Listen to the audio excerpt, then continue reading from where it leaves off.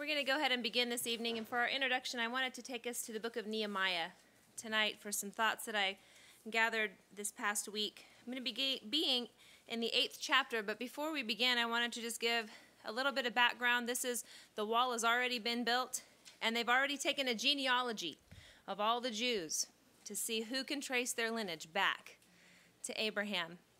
And so the the city of God, Jerusalem, that was in ruins, we see is beginning to be built again. Things are beginning to be renewed. And this is where the eighth chapter picks up. I'm just going to kind of skim until we get down to the eighth verse. This is where the people gather themselves together as one man. They came in front of the water gate. They spoke unto Ezra the scribe and brought the book of the law. They wanted him to read it. He came out, and standing in the midst of all the brethren, he read there before them says, All the ears of the people were attentive unto the book of the law. And Ezra the scribe stood upon a pulpit of wood which they had built for this purpose. And they read that day. In verse 8, it says, So they read in the book, in the law of God, distinctly, and gave the sense and caused them to understand the reading. And that's what caused me to um, ponder this week is the reading distinctly. They read distinctly. The reading of this book prior to this day was a little different than the reading that they made on this day from Ezra. The people came with great expectation to understand and wanted to know what the word of the Lord was for them. They gathered themselves together in unity as one man. They had made preparation for this day. They had actually built the pulpit of wood so that Ezra could stand before them and speak to them the word of the Lord. So they were eager. They prepared for this day to receive instruction from the Lord, and they all gave their attention fully to this reading, the distinct reading of the Word. This day, the reading was with purpose and in order to draw conclusions. Those who read did so in such a way to make the law of the Lord stand apart from anything else that day. They made it to where it would stand out in the hearts of the people. The minds of the people would be able to take hold of this word that was being read. The way they read this law of God gave preeminence both to the law and to God Himself, so that the people were easily um, attentive to the Lord Himself. Now, as they did this, they gave the sense of it. They showed it to be right. They showed it to be reasonable, so that the people were able to understand and enter in themselves to what they could participate in. They were able to understand what the Lord had told them.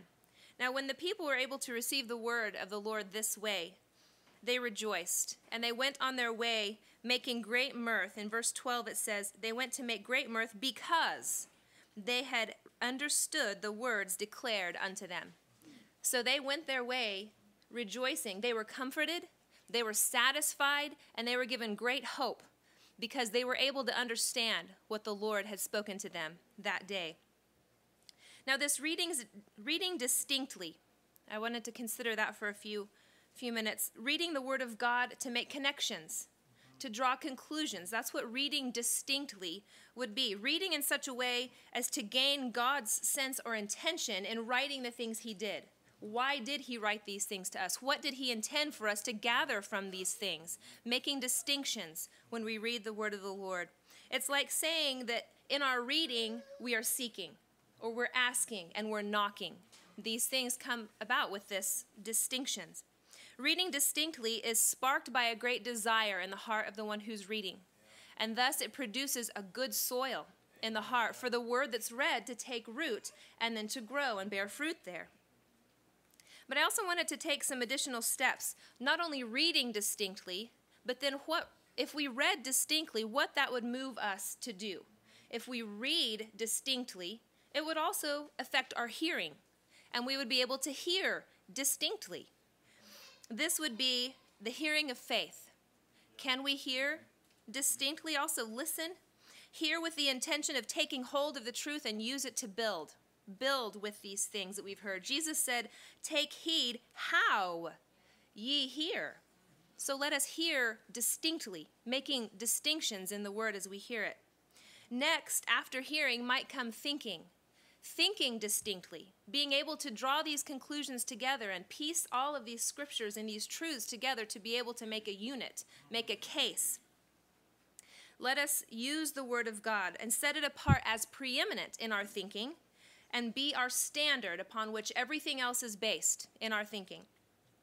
We think about everything in view of the Word of God first. That's our basis then, making distinctions for everything else that comes into our mind. We take every thought captive to the obedience of Christ based upon the Word of God. Then, following thinking would be speaking. After we're able to read and hear and think distinctly, we'll be able to speak in such a way as well, making distinctions in our speech. We are given grace. This would be speaking with grace and having our speech be seasoned with salt. The Lord will enable us to speak so distinctly. And our speech can be clear and concise, presenting a clear and unmistakable case for the Word and for the Lord Himself. This speaking with grace, also, we remember it ministers grace to the hearers. So there's a ministry to those who hear this distinct speaking. And of course, the sum of all these things would be living. You live distinctly. We live differently from the way we used to be and differently from the world around us. There is an evident difference in the way that we live. Um, living distinctly is being separate and holy unto the Lord. So, tonight in our meeting, like the people in our account tonight, we have come together in unity as one man. We have made preparation for these meetings. We've prepared our hearts. Some of us have prepared to speak. We've prepared to receive the word that's been given to us. We've made preparation for tonight. And we come with every intention of giving our full attention to the word that's spoken tonight so that we can understand it, so that we can go our way rejoicing because we've understood that the word has given to us. Now, the men that read that night, Ezra, that day, Ezra and the, the Levites and those who stood with him that read so distinctly, we can liken their ministry unto the ministry of the Holy Spirit unto us.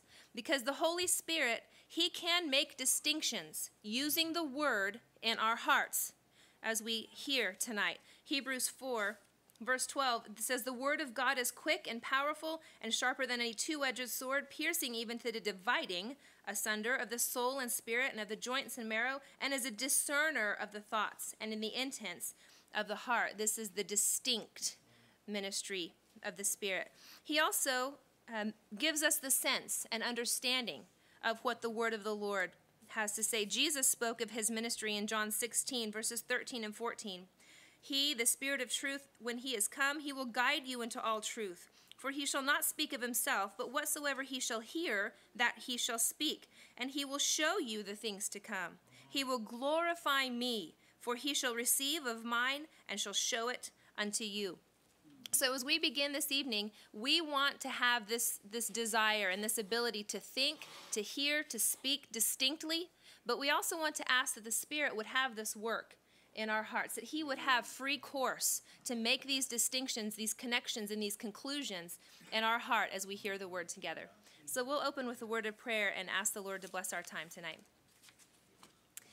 Our Father in heaven, we are grateful to have gathered again in this place with the expectation of receiving the understanding of the things you've prepared for us.